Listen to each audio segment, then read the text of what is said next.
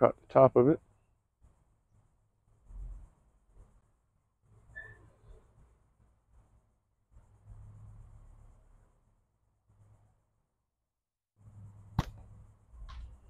Just under it. I am aiming for the main part of the spoon on the right side of your screen.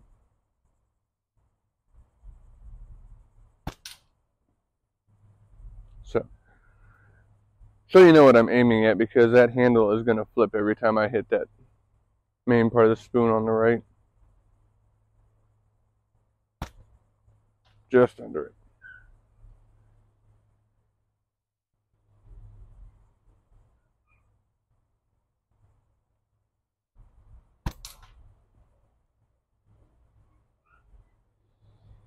See if we can try to put one on that handle.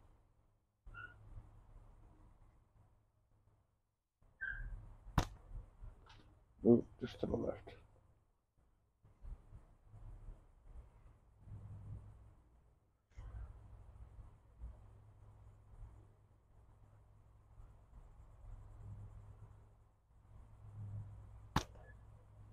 Just over the top.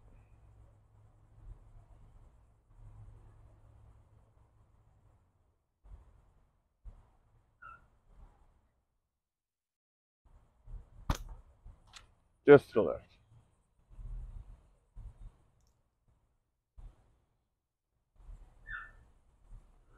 Try a couple more at that handle. See what we can do.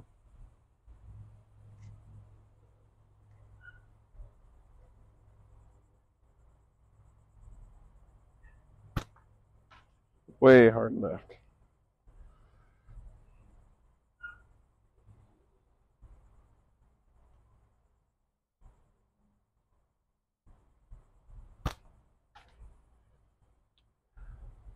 Still hard left.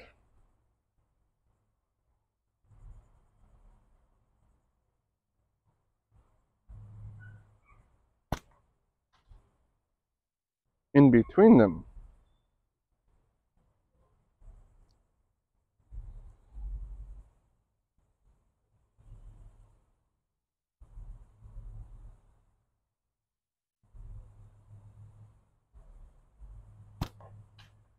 I nicked it.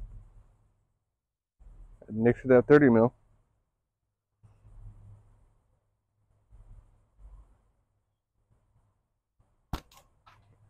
There's the 30 mil.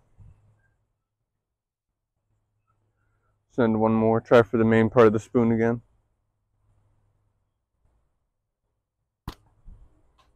Just under it.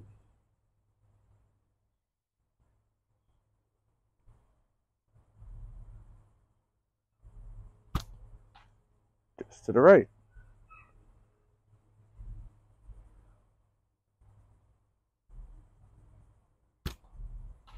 Wow.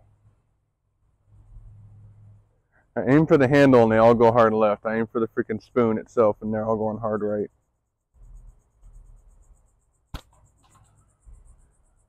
That's exactly what they're doing.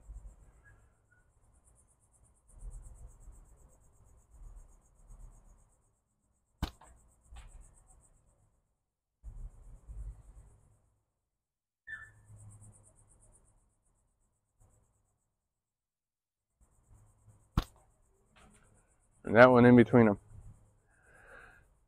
So, I'm out here in the backyard, and today I am shooting one of the, shooting one of the only bushy beaver slingshots that I own today in the backyard. designed by uh, Eric Baart from the USA Slingshot Shooters Group. Built by Bushy Beaver Slingshots. It's called the Tick. It's a very, very small, very comfortable design. I would definitely classify it in the way of a gapper. For like a PFS style. That's actually how I was shooting it with a twist and a tweak. The setup I am, I've got tabbed, going to two millimeter solid round with simple shot. The only thing that I want you to bring back outside of the dead ringer are these Rue BB pouches. Bring them back. But it's a Rue BB pouch from Simple Shot. and I am shooting quarter inch or six millimeter steel. So the frame itself in hand feels extremely good. The HDPE seems to be of good quality. If I could give it any kind of knock or a ding against it is more on the build standpoint. He left all the edges sharp. They're not really rounded at all. And uh, I may I may round them off. I haven't decided yet. I've had this for a bit from Eric, and when I got it was right when our storm season started, so I really haven't had a chance to go out and really do much of anything. But uh, these are this is literally my first shots with it, so you guys are seeing it. You're seeing me getting acclimated to it. Right in between. I'm pretty sure if I had a uh,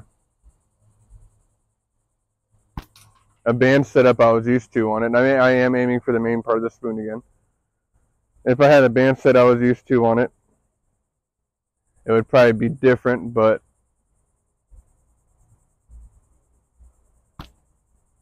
right under the tip of the spoon. This was the last of my two millimeter solid round, so I figured I'd go ahead and use it up.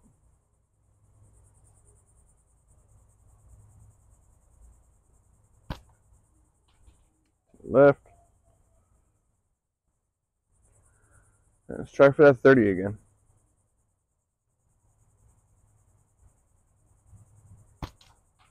Oh, I got the 30.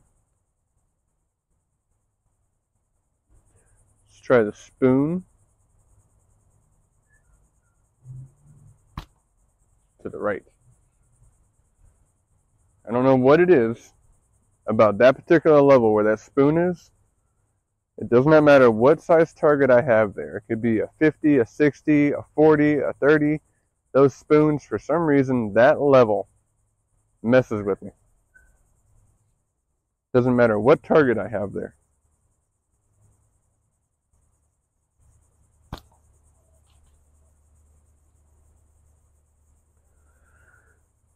Aiming for that main spoon again.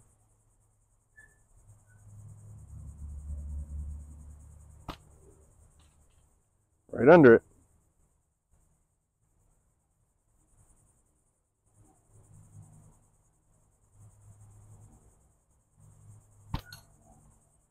Nicked it.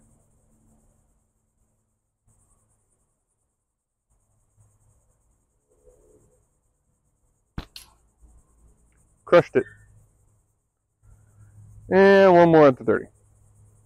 Last shot. And I crushed the 30. So, yeah, that's got to be something with that level that that's that those targets are on. I don't know, but you can find Bushy Beaver slingshots in the USA Slingshot Shooters group. I believe. Uh, I don't know. I've seen a custom, but I don't know if it was a one-off or if he's actually building them. So I'm not going to say on that. That might have been built for Eric as a uh, a gift for Eric. But this is Eric Baart's design in the USA Slingshot Shooters group on Facebook. Uh, he's a great dude. He's built a hand. He's bought built. He's bought a handful of my builds that I've made, and uh, most of them are in that size range overall length, they're in that size range. Uh,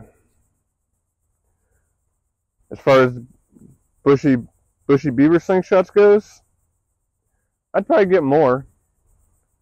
Uh, he had one that I wanted to try. I think it was called the Newt.